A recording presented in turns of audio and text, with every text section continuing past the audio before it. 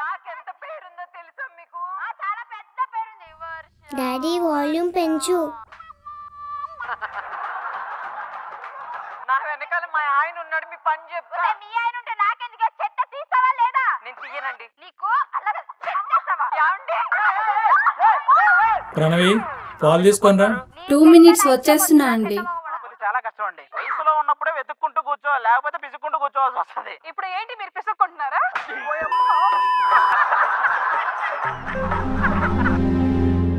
చిన్నపిల్లలకి ఇవా అండి నేర్పించేది. ఏయ్ పదవే నువ్వు కిచెన్లోకి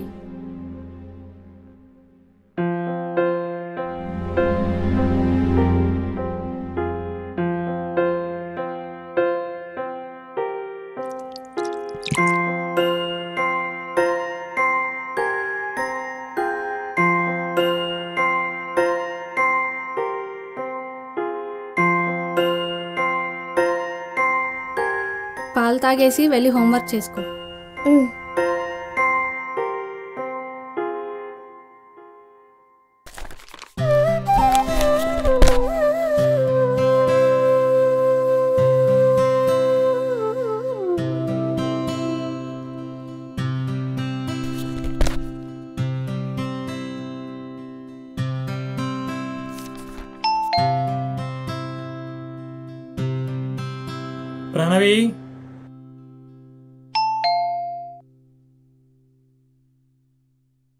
ప్రణవి! వస్తున్నా. ఆఫీస్లో సాగిస్తున్నట్టు ఇక్కడ కూడా సాగిస్తున్నారా? హాయ్ ప్రణవి. హాయ్. మా ఇంట్లో పంచదార అయిపోయింది. కొంచెం ఉంటే ఇస్తావా? సాయంత్రం ఇచ్చేస్తానులే. అయ్యో మా ఇంట్లో కూడా ఇప్పుడే పంచదార అయిపోయింది అక్క నేనే నీ దగ్గరికి వద్దాం అనుకున్నాను. ఇంతలోనే మీరు వచ్చేసారు. అవునా? ఇది మొగుడు నిమ్మన్న ఇచ్చేస్తుంది కానీ చిన్న వస్తువైనా బయటికి పోనివ్వదు. సర్లే పక్కింటి పంకజాన్ని అడుగుతాను. Bye bye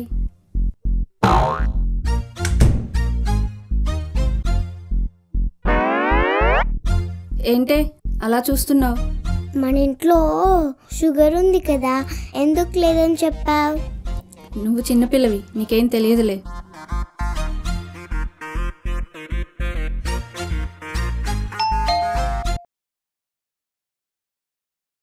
Pranavi? అమ్మా నేను చూసొస్తాను పని చేసుకో. హాయ్ సాన్వి హాయ్ చింటూ ఏంటి ఇలా వచ్చా? నా దగ్గర స్కెచ్ పెన్స్ అయిపోయాయి నీ దగ్గర ఏమైనా ఉంటే ఇస్తావా ఎక్స్ట్రాగా? మళ్ళీ ఈవినింగ్ ఇచ్చేస్తా. ఓకే ఒక్క నిమిషం.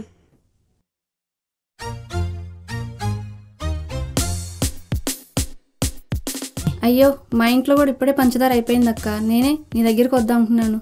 ఇంతలోనే మీరు వచ్చేసారు.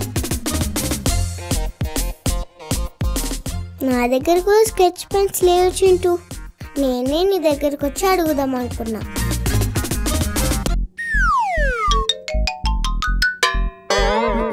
సరే పర్వాలేదులే బాయ్. బాయ్. పాప మీ డాడీ ఉన్నాడమ్మా? డాడీ మీకోసం ఎవరో వచ్చారు. రమ్మని చెప్పు.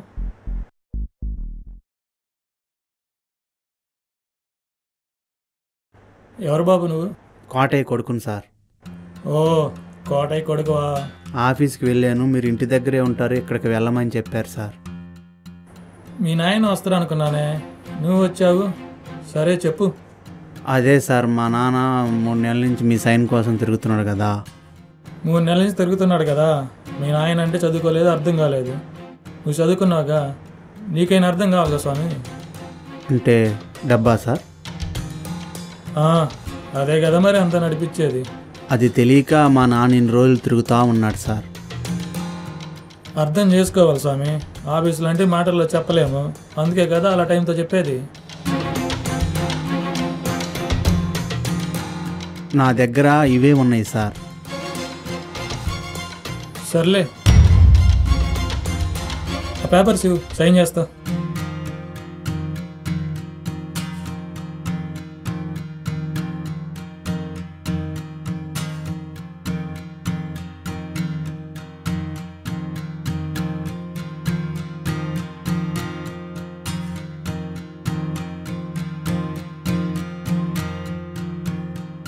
ఇదిగో తీసుకో.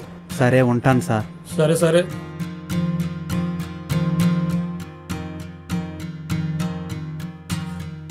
డాడీ ప్రోగ్రెస్ కార్డులో సైన్ చేయండి. ఒక్క నిమిషం.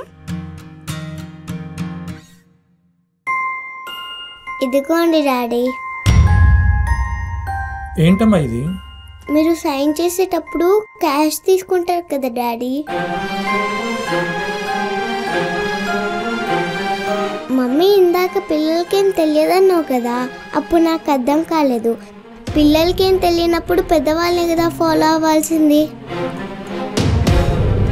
డాడీ నేను కూడా మీలా పెద్ద ఆఫీసర్ అయ్యి సాయం చేయడానికి డబ్బులు తీసుకుంటా. మిమ్మల్ని ఫాలో అవుతా.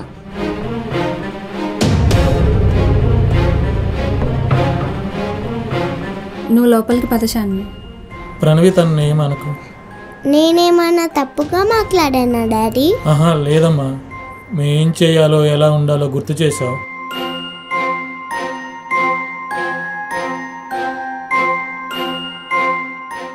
ఈరోజు పిల్లలే రేపటి పౌరులు అంటారు. ఆ పిల్లల్ని మంచి పౌరులుగా తీర్చిదిద్దాల్సిన బాధ్యత తల్లిదండ్రులు పెద్దలదే. తల్లిదండ్రులు మంచి మార్గం నడిపిస్తే మంచిగా చెడు మార్గం నడిపిస్తే చెడుగా పిల్లలు ఎదుగుతారు. ఎటో వెళ్ళిపోతున్న సమాజాన్ని మంచి మార్గం నడిపించాల్సిన బాధ్యత అందరిపై ఎంతో ఉంది.